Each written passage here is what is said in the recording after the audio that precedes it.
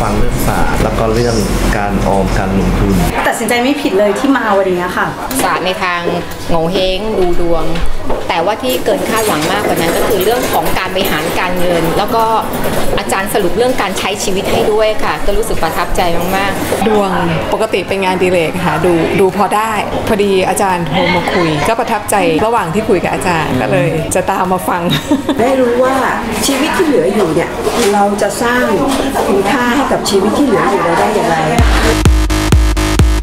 สวัสดีครับแฟนเพจนะครับผมสิงแสว่างนะครับหรือว่าสว่างลงคัสิริพันธ์นะครับที่เจ้าของแฟนเพจสิงแสว่างที่เรารู้จักกันนะครับ วันนี้เลยที่ตั้งใจนะครับอย่างที่ผมเขียนในแฟนเพจอยู่แล้วนะครับ30 ลิขิตฟ้า 70 ต้องฝ่าฟัน 30%ของคนเราเนี่ยกำหนดโดยชะตาฟ้าวันเดือนปีเกิดเรียบร้อยแล้วว่าเราจะเป็นยังไงเกิดเป็นยังไงเหนื่อยไม่เหนื่อยรวยไม่รวย แต่ 70%มันอยู่ที่ตัวเราไงนะครับว่าเราจะทำอย่างไรเราจะทำหรือเปล่า รู้แล้วทำไหมปัญหาของของคนส่วนใหญ่คือรู้ชะตาตัวเองไหม30%ก็ไม่รู้ 70%จะทำยังไง ถ้าคุณทำได้วันนี้คุณรวยแล้วฉะนั้นสิ่งที่ผมให้ในวันนี้เนี่ยคือ 30%เนี่ยให้มันรู้ชะตากันเลยก่อนกลับบ้านเลยว่าชะตาคุณเป็นคนอย่างไร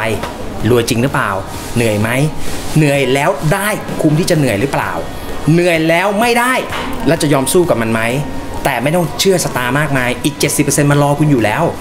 ทำทำให้ถูกวิธีหาที่ปรึกษาหาสินแสที่ถูกต้องนะครับ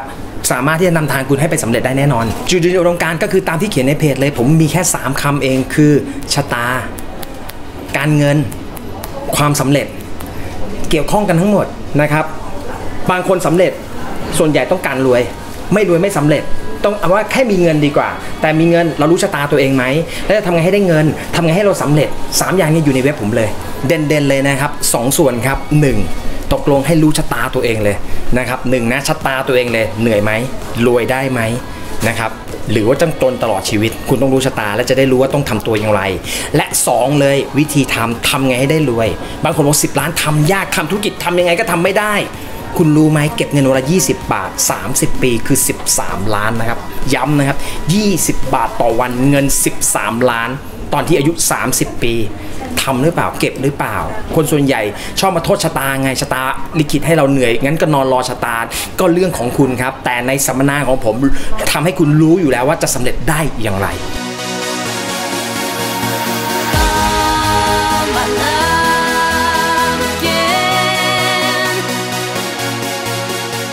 ยังไงวันนี้ก็ต้องขอขอบคุณอาจารย์หวังมากๆฮะที่ให้องค์ความรู้วันนี้นะครับแล้วก็ผมคิดว่าใครที่กำลังค้นหาตัวเอง หรือว่า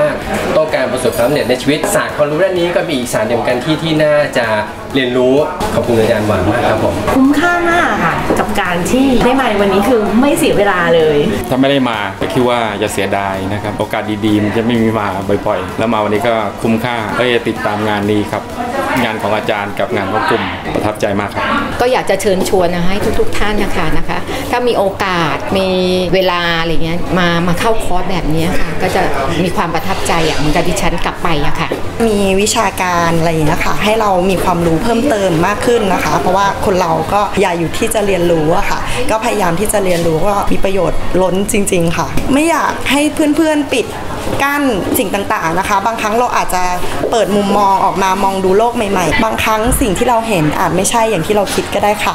ได้ความรู้แล้วเริ่มทำเลยค่ะ นี่ค่ะ ที่อาจารย์บอกภูมิใจมากค่ะ ที่ได้มาวันนี้ขอบคุณค่ะทำกินอะคาเดมี่ติดปีก SME สู่สากล